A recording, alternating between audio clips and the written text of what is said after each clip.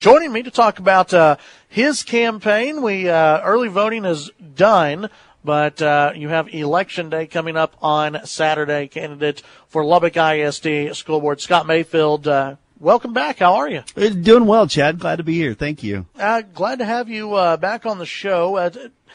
how did how do you think early voting went? are you are you uh, energized by what you saw out there, and how do you think the campaign's going? You know, it's it's one of those you you, you just don't know. You never really know what's going on, and and uh, but I feel good about it. I've done everything I know to do. I've walked every house in in District Five. Um, we have put up hundreds of signs, knocked on thousands of doors.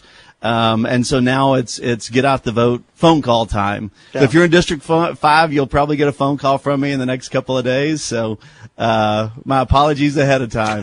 but but but I would like your vote and would like you to get out and vote. Yeah. So so you've uh, you you've gone to every house. Well, every registered voter, every okay. every voter's house. So so you buy a list that, that has people that, that actually vote. You know, some people are registered and they don't vote. Right. Um, unfortunately, and lots of people aren't registered. Yeah. And so you know you may hit. Uh, you know, five houses on a block. You may hit ten. You may hit fifteen houses on a block, depending. Um, so, so you know that that's kind of the the rule of thumb you follow. So you've been right there working it. I have been, and, and my family, my wife, my boys, is, is have, have been killing it. They've been busting their tails. What's that? What's the experience been like? Uh, getting out there and, and working, you know, walking all the blocks in that area. I know you knocked on my door, mm-hmm. and uh, you know it was uh, you're you you're the uh, only candidate so far that's knocked on our door mm-hmm. uh, during this election process. And I, I, you know, I've seen your signs everywhere mm-hmm. uh, throughout the district, uh, and and and you know, I've, I've seen pictures on, uh, I think your campaign Facebook, just mm-hmm. you know, with you and your kids and volunteers out there. So, how's the experience been? It's it's been great because it's really been a, a family effort. So every day, the you know, pick up the boys from school, and they're like, "So where are we walking today, Dad? Where what are we doing today? How you know how many hours do you need tonight?" And and you know, and Saturday it's just, hey I need four hours out of you. And then you can play Xbox or PlayStation or whatever else you want to do. You can go hang out with your friends, but, but I got to have four hours from you. What is, when you knock on people's doors and, and you talk to folks out there, and this is one of those races, we brought this up last mm-hmm. time, that on the radar, it's below mm-hmm. the rate. It's not yeah. on. It's that, not, that, hurts my feelings a little bit. it does. Right, yeah, yeah, I know. But it, but it's it's it's not on the radar. You know, just like municipal judge, mm-hmm. not on the radar for yeah. people uh, when you go and knock on people's doors, it, you you have one opponent in this race. Mm-hmm. Uh, so, what do you tell? What is the big difference between you and your opponent? Why do you deserve their vote? It, it, it comes back to a couple of things. Number one, experience. So, when I talk to people with kids um, versus people without kids, they you know they want to make sure that we've that, that we've thought through um, that we've planned through that that that these kids are making steps and progressing every year, and that they're ready when they graduate for the next step, whether that's college or career, that they're ready to take that next step, and and you, and you know and that starts at pre-K.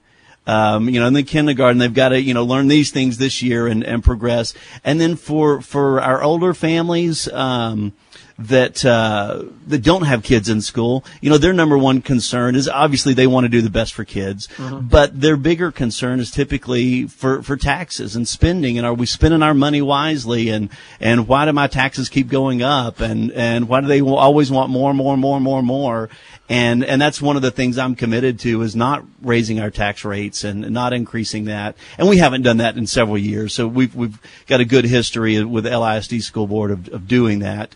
But uh, but you know that's that's my commitment. And I am not going to vote to raise taxes. And and I'm I'm sure that's a message that a lot of people uh, like to hear out there. so, yeah. Yeah. and we're visiting with Scot Mayfield, candidate for Lubbock ISD uh, School Board, place five. Uh, if uh, when, when you uh, head out and vote, if you haven't voted already, what do you when you look at Lubbock ISD? Mm-hmm. What do you think the future for Lubbock ISD looks like? Well, it's going to be different than than uh, than it has been. We're for the most we're landlocked. We're not growing. We're not probably gonna grow. Um, any tremendous amount in, in any one area. You know, some uh, uh, the the Roy Roberts area, kind of South University, um, that's grown a lot. Uh, you've got the Centennial area that's grown a lot, kind of North Point. I think it's what that's called, North Slide. Um, that's grown a lot in recent years, and there's some there's still some room for growth over there. But for the most part, we're probably not going to have a high growth rate in our district. So we're we're going to be fairly stagnant. We've got aging buildings. Our average age of our buildings is uh, mid 50s. We have you know 50 some odd buildings. So we've got to uh, we've got to take care of those facilities. We've got to um, you know continue to update them and and rebuild them as time goes by. So that's those are some of the bigger challenges. Visiting with Scot Mayfield, candidate for Lubbock ISD, place five. Uh, when it comes to Lubbock ISD, does Lubbock ISD have a perception problem?